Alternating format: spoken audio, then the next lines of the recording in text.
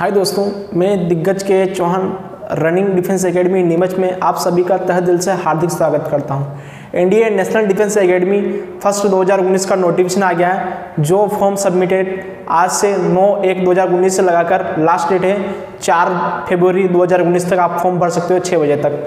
ठीक है, अब चलते हैं इसके नोटिफिकेशन तरफ़। अब कौन अप्लाई कर सकता है? यहाँ पर आप टेन प्लस टू वाले बच्चे जिसने ट्वेल्थ पास कर ली है, प्लस जो टेन प्लस टू अपियर है, जो एग्ज़ाम देने जा रहे हैं अभी 2019 वाली, ट्वेल्थ की, वो बच्चे दोनों फॉर्म भर सकते हैं। अब डेट ऑफ़ बर्थ की बात की जाए तो डेट ऑफ़ बर्थ अनमेरिड होना चाहिए कैंडिडेट, प्लस 2 जुलाई 2000 से लगाकर एक जुलाई 2003 के बीच में आपका डेट ऑफ़ बर्थ होना चाहिए। वही बच्चे इस फॉर्म को सबमिट कर सकते हैं।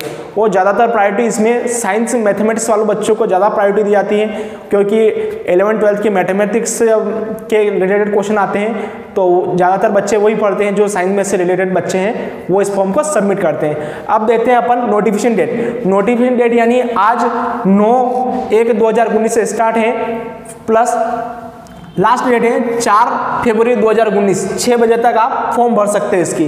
अब टोटल पोस्ट आई है तीन सौ बयालीस एनडीए नेशनल डिफेंस एकेडमी की और 50 पोस्ट आई है अपने नेवल एकेडमी की। ठीक है? तो अब एनडीए आर्मी नेवी एयरफोर्स में कितनी पोस्ट है? आर्मी के लिए 208 पोस्ट हैं। नेवी के लिए 42 पोस्ट एयरफोर्स के लिए 92 पोस्ट ठीक?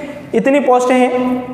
अब इसके प्रिफ्रेंस कैसे दिया जाए? तो मैं इसको अगले वीडियो में बताऊँगा, क्योंकि वीडियो लंबा होता जा रहा है। अब हाउ टू अप्लाई www.upsc.online.nic.in पर जाकर आप इस फॉर्म को सबमिट कर सकते हैं, और इसकी फ़ीस है S T S C O B C जो एक्स आर्मी मैन है, और प्लस जे सी ओ सन्स हैं, उनके लिए फ्री में है, और ओ बी सी और जनरल वालों के लिए सौ रुपये applicable only for boys apply not girls apply अब एडमिट कार्ड जब एग्ज़ाम है 21 जु 21 अप्रैल 2019 को आपकी एग्ज़ाम होगी तो इसके तीन वीक पहले, यानी मार्च के लास्ट या मार्च के फ़र्स्ट मार्च के लास्ट या अप्रैल के फ़र्स्ट में आपका एडमिट कार्ड अवेलेबल हो जाएगा। W W dot U P S C online dot N I C dot in पर आपका। वहाँ से आप डाउनलोड कर सकते हो। अब पेनल्टी एक क्वेश्चन आपने गलत किया तो उस पर कितनी पेनल्टी लगेगी? तो एक क्वेश्चन जैसे आपने सपोज़ किया, एक क्वेश्चन गलत किया और एक सही किया तो आपका गलत माना जाएगा।